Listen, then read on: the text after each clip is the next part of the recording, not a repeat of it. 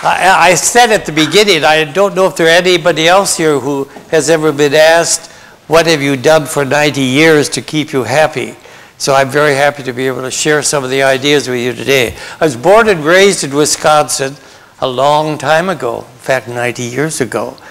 And I was educated in Wisconsin, came to California, and have been in California ever for the last, uh, well, up to this time. But I'm very interested in what this topic is about. I've never ever thought about being 90 years old and what it means. And I think each and every one of us should think about that once in a while. What really makes you happy? And happiness is the key to becoming an older and a wiser individual. And I think one of the first things that's ever happened to me when I was very young, very, that's a long time ago, I was with my mother as she came to tell me, she said, you know, Jerry, your grandfather has just passed away. And he said he was 60 years old and he had a wonderful life. And look at all the things he did to have a happy life. And I said, Mother, what did he do besides depart, take care of the department store in a little town in Wisconsin with a thousand people? And she said, You know what I think about it, Jerry? I don't know if he ever did anything that really made him happy but to work. And I thought, right then, that's not the way I'm going to live. Boy, I'm going to do all I can to make a difference. And so I came to California when I was about 21 years old and decided to pursue my education. And I went on to the University of Southern California, which, by the way, has the largest number of foreign students of any university in the world. And I had an opportunity right then to begin to think about what do I want to get out of life. And the most important thing I thought at first was to make a difference in somebody's life. What a challenge that is for every one of us. And that's the challenge that I thought could make me the happiest. And so I set out to set up some goals. And I remember setting up goals. Uh, some, some you're going to reach and some you won't, and you're going to learn from the experience. So I kind of checked that off. And then I thought about a challenge. Let's be challenged in life. Every one of us should be challenged to become a better person. And with that comes the association, and particularly with friends. I've learned in these 90 years that the most important thing in this world is to have some good friends, friends who you can depend on, friends who will encourage you and play the ball game with you, whether you win or whether you lose. And so this is kind of a positive attitude. And I was thinking about challenges. I've had some real challenges, and you know, when I think about it, they're, they're very different. One of the challenges, I've had some serious health problems. I've been, I have had two heart attacks, two bypass surgeries. I've had prostate cancer. And with radiation, I've had a gallbladder operation. But all these things challenged me. And I said, I'll be damned. I'm going to lick these things. But I think then I started laughing about the challenges that I had. Spent some time in Nigeria. And one of the, uh, uh, the ambassador there, I was working on a Ford project to do some revamping of the educational system. And Mrs. Insibero, who was the mayor of Port Harcourt, kept asking me to have uh, come and have curry chicken with her. Sometimes she wanted to make it especially the way she makes it. And so the ambassador said, now Jerry, this is a challenge because we know that it's very highly seasoned. You've seen the chickens running around here. You know what these chickens are going to be all about. So I said, I don't know if I can handle this. And he said, this is a challenge. So I went to Mrs. Insimero's, and she was a, a lovely, beautiful woman.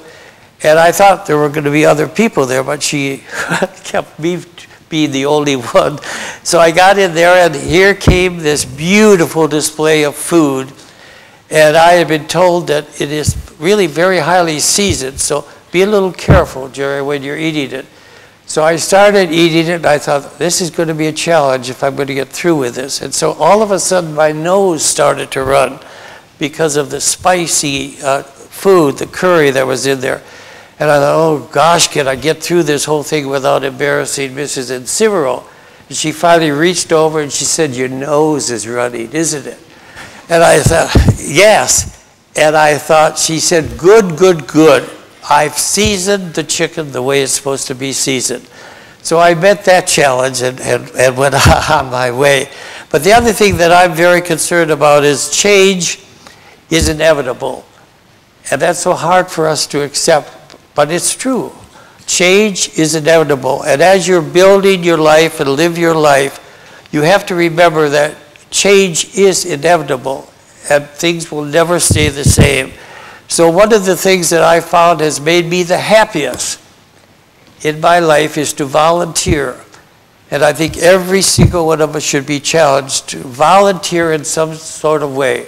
I've become deeply involved in the arts. I volunteer in several different organizations.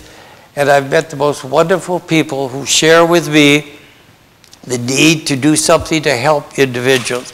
And one particular agency that I volunteer for is called Ability First, and it's an organization that helps uh, uh, stu uh, students who are disabled mentally as well as physically. And to see what volunteering does to help these people become better people and to make a difference. And I think one of the things that's helped me become a happy person up to 90 years is to be able to realize that I have made a difference in people's lives. And the greatest compliment each one of us can have is to have somebody come to you and say, you know, because of you, you've made a difference in my life. And this has a lot to do about being happy, to enjoy life, but keep occupied. And I think that this is one of the things that I, when it, I was reading what they said about me in here, and it said I've traveled around the world. I work for the University of Southern California that has the largest number of international students of any university in the world. So I've had a rare opportunity to meet all these different cultures. And one of the greatest things that's happened to me is to build these friendships. And one of my greatest friendships is I had a heart attack on the, in the Arabian Gulf here a few years ago uh, on a cruise ship. And had it not been for my friend, uh, His Excellency Saeed uh, El Shamsi, he came and helped me and actually really saved my life. And so I think the idea of friends, and when I, when I left uh, Abu Dhabi after having some uh, problems in the hospital, I said, Saeed, how do I thank you for all that you've done?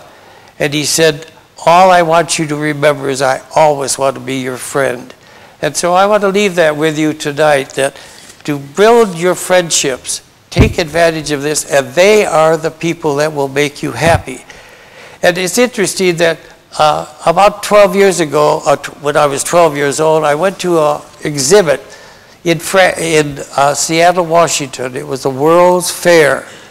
And in that World's Fair was a pavilion built by the French government. And I went into that pavilion and they had all these beautiful things that were on the wall and everything. But at 12 years old, I looked up and saw this sign, and it said, I shall, I shall miss most of earthly life, neither power which is despicable, nor pleasures that are frail. Only shall I miss my fellow beings. Two things on this earth are precious. First is love and second and far behind is intelligence. Furthermore, love and intelligence are very close who understands. Beyond this, nothing. Thank you.